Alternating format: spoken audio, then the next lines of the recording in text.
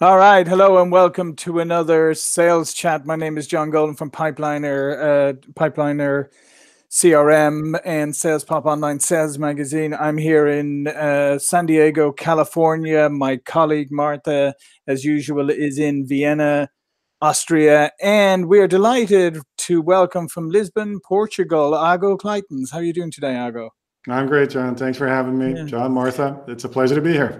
Yeah, and Ago's practice director in EMEA at the Rain Group and uh, globally recognized B2B thought leader, understanding buyer perspectives, inside selling. And, and the Rain Group do a tremendous amount of, of great research and great work uh, across the globe. And, uh, and I think Ago's even going to mention, I think there's some great uh, research coming out uh, tomorrow from the Rain Group. Before we get into the the questions, though, I just wanted to let you know that, as usual, you can join in the you can join in and interact on Twitter. the The hashtag is hashtag Sales Chats. That's hashtag Sales Chats. Martha will be monitoring the uh, the Twitter feed. So if you have a question or you want to answer the question or you want to interact with the audience, just hashtag sales chats. Okay. So with that, Today, we want to talk about how to be a top sales performer and who doesn't want to be a top sales performer. So, Ago, let's let's kick this off and say, what are what are some of the secrets that to, uh, of top performers that make them so much more successful than the rest? Well, I'll give you a I'll give you a hint. You know you know how to say a visual is worth a thousand words. Yep. So I'll give you I'll give you a hint right here. See what it says on the cup there? patience. yeah, patience. Excellent. Exactly. Now, all kidding aside, yeah, sure, patience is one of them. But as you mentioned, John, um, so we at Rain Group, we, we do a lot of primary research around, uh, you know, why buyers buy, um, what top performing sales organizations do, et cetera, et cetera. And so a couple of years ago, we actually set out to answer a seemingly innocent and simple question, which is why do B2B buyers buy from one firm versus another? Why do B, we B2B buyers choose to interact with one seller versus another? And so out of that came a list of top 10 factors. Um, and I'm, I'm, I'm, sure that you've read, you you may have read the research and, and some of the people watching this may have, may have come across it as well. But essentially, so what we did was we, we interviewed and surveyed 703 B2B buyers. Um, and we analyzed about 3 billion in transactions. And a, a, list of top 10 factors came out that buyers said, this is why I buy from firm A versus firm B. Um, so we didn't ask sellers because if you ask a bunch of intelligent, smart-driven sellers what they what makes them so wonderful, then you get all sorts of answers. Mm-hmm. And what I always say to my clients is, if you think about it, if we're honest with ourselves, who decides what to buy, how much to buy, when to buy, who to buy from, and under what terms and conditions to buy? If we're honest with ourselves, it's the buyer. And so mm-hmm. we went out and we interviewed and surveyed all these buyers, and this list of top 10 factors came out the number one reason why buyers buy from firm A versus firm B is because the seller educated them with new ideas and perspectives. And this is pretty key, right? New ideas and perspectives. Now, um, that may sound a little bit surprising. Uh, when I ask clients, you know, why do you think people buy? The inevitable things come out like, you know, I think people buy on price or think people buy because we have great products or service or our IP or our people or our brand. Um, so sometimes people are surprised by this by this idea of new ideas and perspectives. But if you think about it, it's pretty illogical. Um, think about anything you would ever want to buy in your life, from a vacuum mm-hmm. cleaner to a high-end car or even a house. What's the first thing that we all do? What What is the first thing that we do when we consider a purchase? Yeah, but we do some research. Yeah, we do some research and we go on the internet, we do that research. And before you know it, you can download, you know, a stack of white papers and, and, and all sorts of data sheets and decks and whatnot and comparisons and vendor comparison sheets and awards and whatnot. And the fact is this information is abundant and cheap, right? Yeah. What's not cheap is meaning. What's yeah. not abundant is interpretation. And so buyers are looking for sellers to come in and help them build meaning, interpretation, interpretation make them uh, help them make informed choices. And so the number one reason again why a buyer say this is why i buy from firm a versus firm b is because the seller educated them with new ideas and perspectives. Number two reason, incidentally, is just before you move on to number two, though, it's a good point to for people who are listening to remember is that yes, uh, we hear all the time about the the educated buyer, the empowered buyer, but as your as your point is is a very good one. Is we have all this information at our fingertips, but then it's often paralyzing because we've got a bunch of research which says this product is phenomenal, a bunch of research that says maybe it's not, a bunch of research, and and all, and we don't know how to compare. So the salesperson who comes in and can provide something beyond that, the insight, the education, is is really really critical and more helpful than ever. So salespeople are more important rather than less. Well, you know what? Now that you said that, John, I'm not. i will talk about the number two factor mm-hmm. later. But if you look at that list of factors, there are fully three out of 10 that relate directly to the salesperson, right? Um, mm-hmm. So buyers are saying things like in the top 10 list, buyers are saying things like, you know, I want a seller who collaborates with me. That's the number right. two factor, incidentally. Um, I want a seller who connects with me personally. I want a seller who's honest about the pitfalls and the risks that are associated with buying. Um, and so even in hardcore B2B sales, and so the people that we interviewed, you can imagine these are high-end senior executive leaders. Um, so people who are pretty hard nosed about business, even they're saying, you know what, I want to buy from a person I like and I trust, right? Mm-hmm. So the individual seller is not, at least in high end B2B sales, yep. is not less important. It's actually, he's actually, he or she is actually becoming more important in the sales process to give that meaning, to give that interpretation and that guidance. Um, couple more things I want to talk about in terms of what top sellers do. Um, four, four out of 10 factors in that list relate directly to risk. So things like help me avoid uh, potential pitfalls, depicted the purchasing process accurately. Those are all related to risks. Mm-hmm. So buyers have been burnt in the past. Budgets are still tight. Uh, there's still a lot of scrutiny on corporate spending, and buyers are I wouldn't say terrified, but at least concerned about making a wrong choice because a wrong choice can have all sorts of impact. Exactly. Right? And I always tell people that you've got to remember in a B2B sale that on the on the buyer side that the purchase can be career enhancing for them if it works out. It can be career limiting if it doesn't. So there's a lot of emotion wrapped up on the buyer side. So to your point, like risk is a major factor. Absolutely. And so we, we talk about rational and emotional afflictions and aspirations, and that's exactly what you just said, right? Um, if you if we're honest with ourselves, again, even in a B2B setting, there's a lot of you know personal factors that come into a, buying decision, right? Do I like you? Do I trust you? Do I feel like you'll you'll do right by me? Are you upfront and honest about these risks and what you'll do uh, when they do come up and when they do occur? Um, so, so absolutely. Um, let me talk a little bit about one thing that is not on that list, by the way. So I, have got this list of top 10 factors, and if people are interested in that, I'm sure we can get that out to them. Um, but what's not on that factor, that list of top 10 factors is, do you want to take a guess, John? What's not on that list? Uh, I don't know. You got me. Go on. All right, I'll tell you. It's price. Price is not price. on that list. Mm-hmm. The closest we come is uh, uh, is overall value is higher when compared to competitors. Value. Mm-hmm. So value, and we're talking about value, not price, and it's number ten out of a list of top ten factors. So right. price. Um, anybody who comes to me and says, you know, Ago, I think B two B buyers they buy on price and price alone. Um, I would I would certainly challenge that. Absolutely. Mm-hmm. And so value, the concept of value done encompasses a lot of different things, right? You know, price encompasses one thing, it's a number, right? But value encompasses a lot of different components. Yeah, no, absolutely. Yeah. Yes, sir. Uh, nothing yeah. after that. You said that really well. No, no. okay, there you go. Um, so, um, so there's another thing. I mean, one of the things that you mentioned, and I think that we we always have to uh, to come back to again is, as you said, is salespeople, even top performing salespeople, they tend to be unconsciously competent, right? They really they have some idea maybe of how they they are successful, but often they don't really know how they're successful. That's why it's, uh, you know, you need to look elsewhere and you know and get the research around it. But what are, um, you know, what are uh, what are top performing salespeople? What do they focus on more than other, uh, you know, less uh, successful salespeople? Because I think focus is a big thing. Yeah, so I, th- I, think the answer I think the answer is going to surprise you a, a, little bit, John, because we um, unsurprisingly we've done some research into that as well. Um, and so I like to think of if you think about a successful salesperson, or if you think about behavior change, or what people need to do in order to get better, because I think a lot of people that are going to be watching this video, they're going to be going, okay, what can I learn from this? What can I take away mm-hmm. from this? Right? I look at this as a, a small like a triangle, right? Um, and the triangle, the top of the triangle is uh, is for me a skill set. So that's the basic core skill set of, of sales, right? So you need to be able to qualify deals, you need to be able to prospect, you need to be able to do a proper job at needs discovery, you need to be able to overcome and handle objections, you need to be able to close. That's skill set. Um, the bottom part of the pyramid is mindset mindset is uh, essentially it's you know i believe there's business to be had out there. I have an optimistic attitude. As we all know sales can be a notoriously hard profession. Mm-hmm, even if sure. you've got a stellar closing rate which is 60 to 70 percent which most sellers don't even get come close to. But even people who, who have that closing rate imagine they still lose one in three deals right?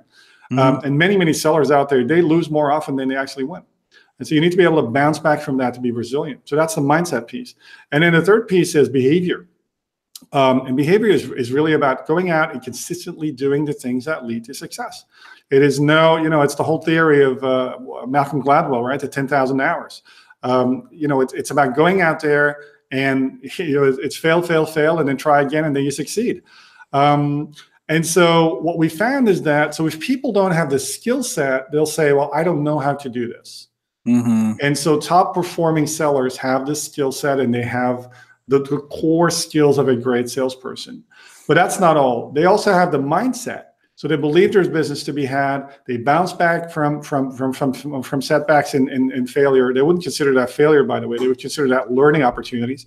Um, and and so they have the right mindset in place. But what's really most important is that they have the right behavior in place.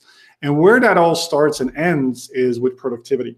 Mm-hmm. We found that by and large, top sellers they're not massively better at stuff than others. It's not like they have this magical ability to whisper into prospects' ear and make them do what they want. You know, they're not magicians. They're you know they're people mm-hmm. like you and me, but they go out, they go to bat, they you know they play more games than anybody else, and they and they you know and they and that's how they succeed.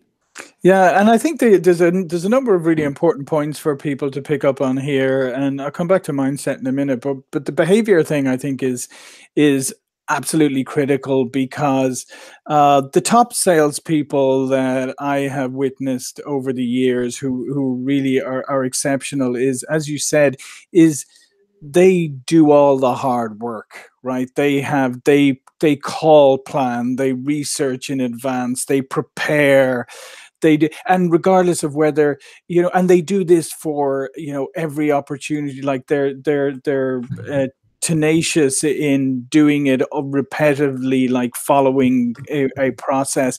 And I think that often differentiates the top salespeople from the less ones, the ones who tend to wing it a bit, maybe sort of prepare, you know, maybe forget to call, plan, do it in the lobby or whatever, five minutes before the phone call. I think behaviors and being being um, being consistent in your behaviors is is something that is absolutely critical and being repetitive. Yeah, absolutely. So um, actually, John, I, you know, you, you, sort of mentioned this um, already. So we do a lot of we do a lot of research, and actually mm-hmm. tomorrow mm-hmm. we're publicly uh, publishing. I've already got a copy, but we're publishing publicly uh, a new white paper. It's called Beyond Compensation: uh, Three Proven Ways to Build Sales Motivation. Would you Would you like me to go into that a little bit deeper? Yeah, yeah, that'd be great. Yeah, absolutely. So when we did the research on productivity, um, we we looked at well, what do highly productive sellers do differently? And I'll I'll tell you a couple of things. So um, it's really about three habits, and the first habit is um, the first habit is sorry, the first habit is to manufacture motivation, right? Recruit your drive. Um, so we found that the what we call the extremely productive are much more likely to have written goals, right? Mm-hmm. So they have written goals and they review those on a on a you know on a timely basis. I'm not going to say that's daily, but they review those on a regular basis. 40% of the extremely productive have written goals. 12% of everybody else does. Um, right. The extremely productive are much more likely to plan priorities and work activities on a weekly basis. Um, about half of the extremely productive do that. It's like second nature, right? Sunday morning, you sit down, you plan your week, or Monday morning, you sit down, you plan your week, and you think about, well, what are the things that I'm going to do? And then a whopping, and this is really key, three out of four, 76% of the extremely productive hold themselves accountable for what they told themselves they were going to do. Mm. The number for everybody else is half of that, 34%. So the extremely productive are much more likely to have written goals, plan their priorities in their tasks, in their activities weekly, and hold themselves accountable.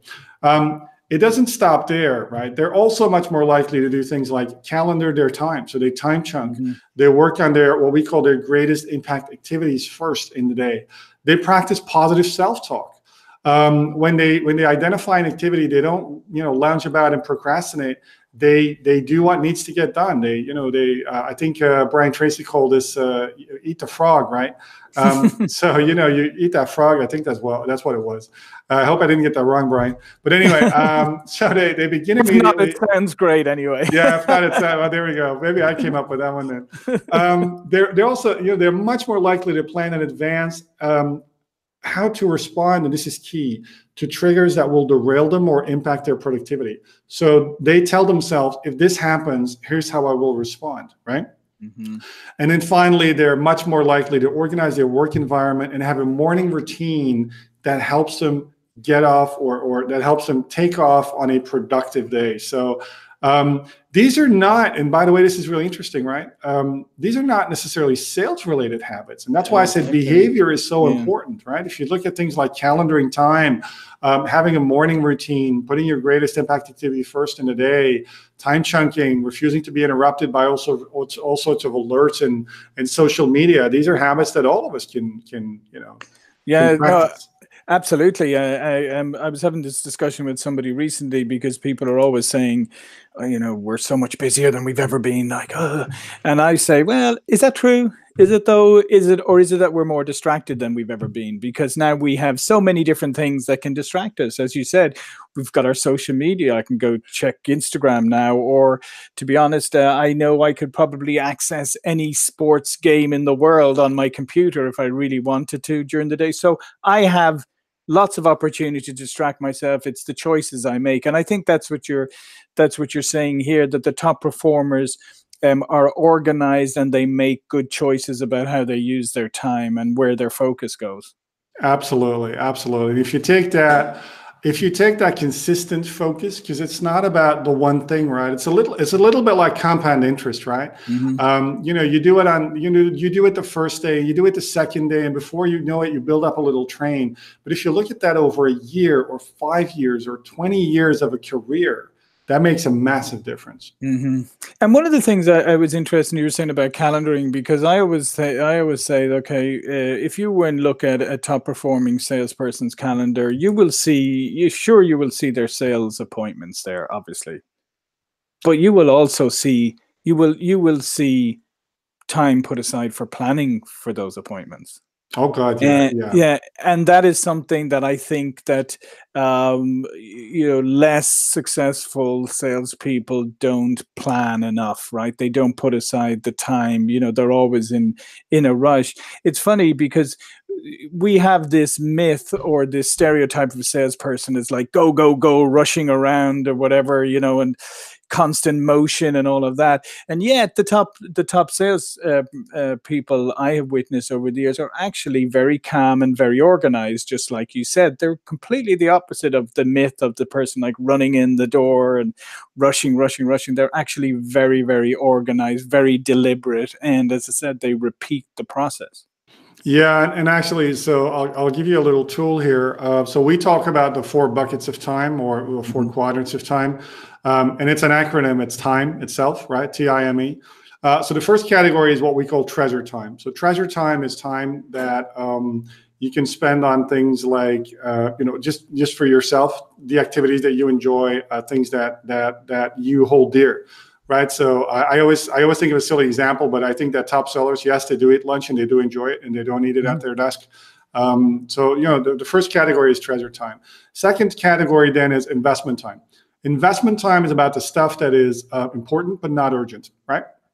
So that's mm-hmm. really about things like long-term thinking, account planning, account development, uh, thinking about you know how can I how how can I improve myself um, how can I improve, you know, the functioning of, of, of, of, the organization or my day?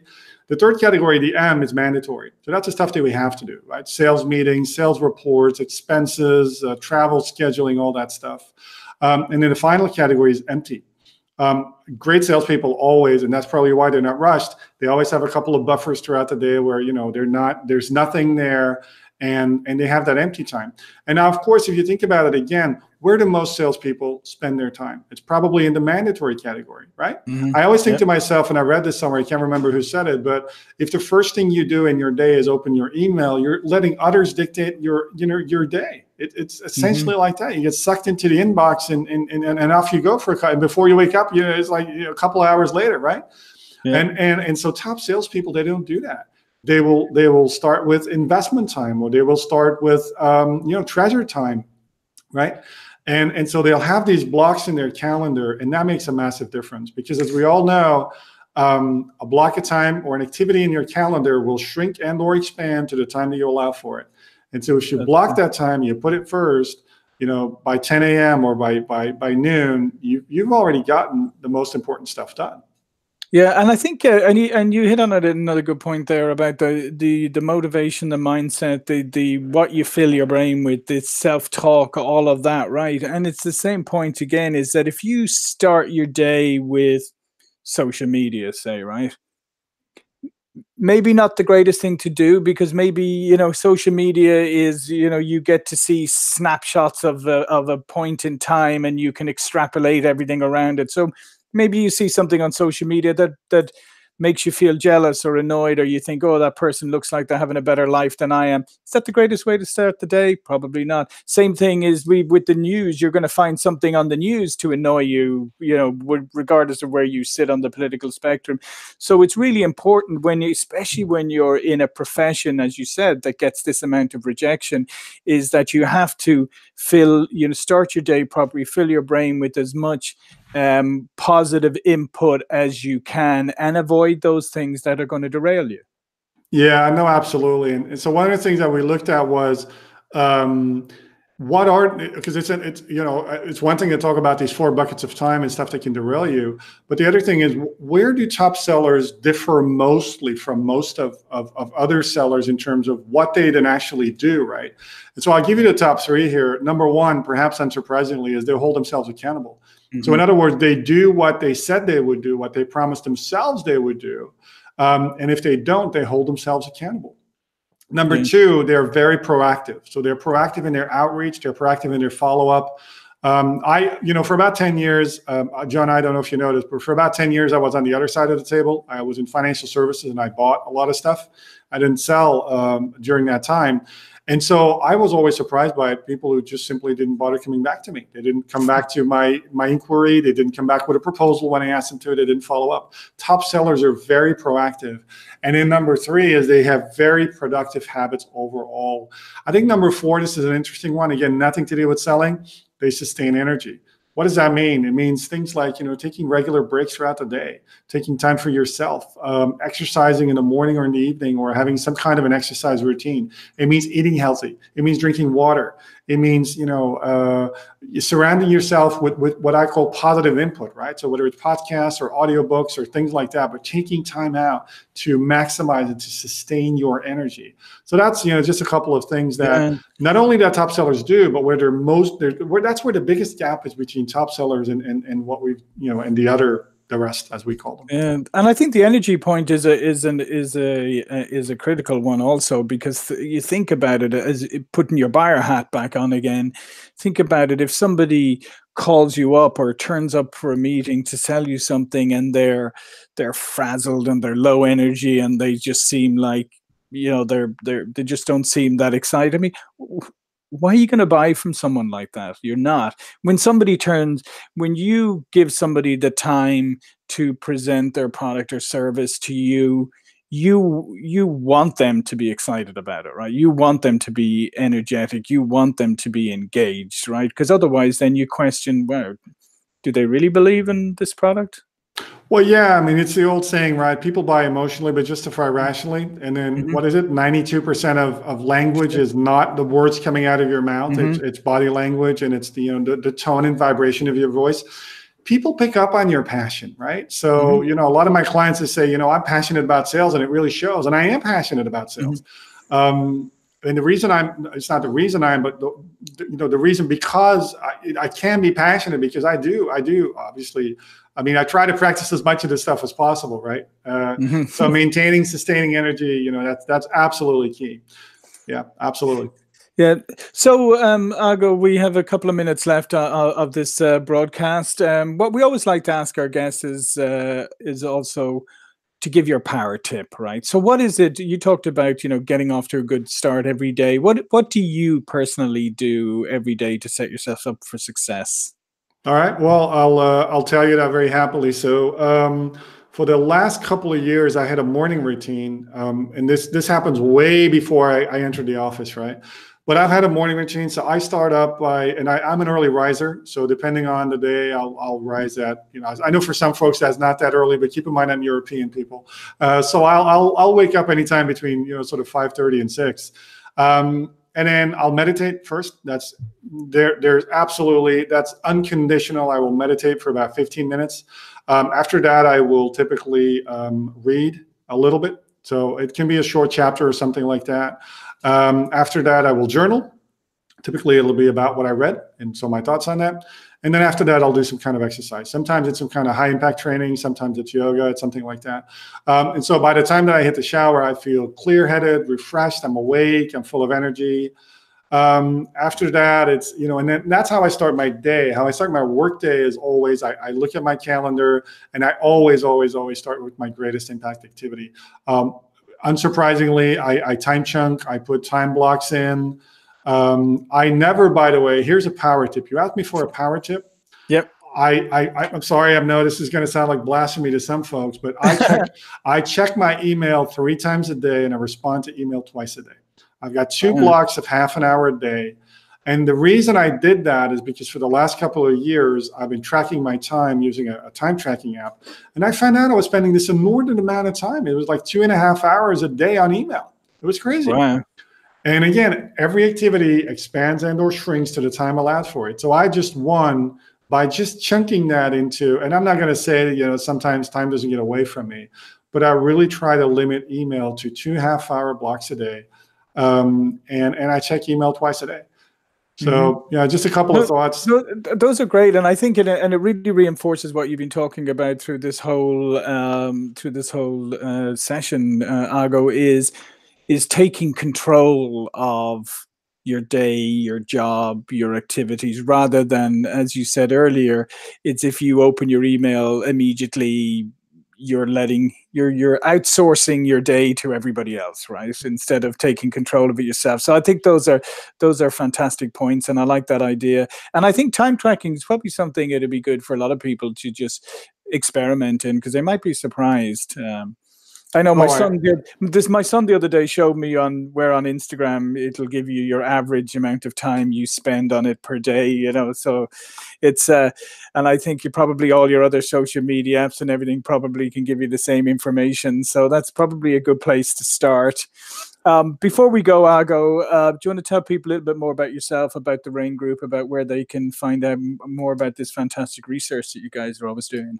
Yeah, sure, absolutely. I'd love to. So, um, if you're interested in research, whether it's the research on what sales winners do differently or the research on uh, productivity that I just mentioned, just go to rainsalestraining.com, and there um, there's a download section. You can you can find all the research there. Um, so yeah, I think that's that's probably the best way. If you want to um, connect on LinkedIn or connect on Twitter um, or on YouTube, I have a, a YouTube channel with some short um, I'd say succinct three to five minute videos on sales. I'd be very happy to connect with you there. And if you have any questions, do let me know. Excellent. So my name is John Golden, SalesPOP Online Sales Magazine and Pipeliner CRM. And Martha in Vienna, did good good activity on the Twitter chat today? was fine, yeah. Yeah, excellent. All right. Well, listen, thank you from San Diego, from Vienna, and from Lisbon, Portugal. And we'll see you all again for another sales chat really soon. All right. Thank you, John. Thank you, Martha. Thanks, everyone. Bye.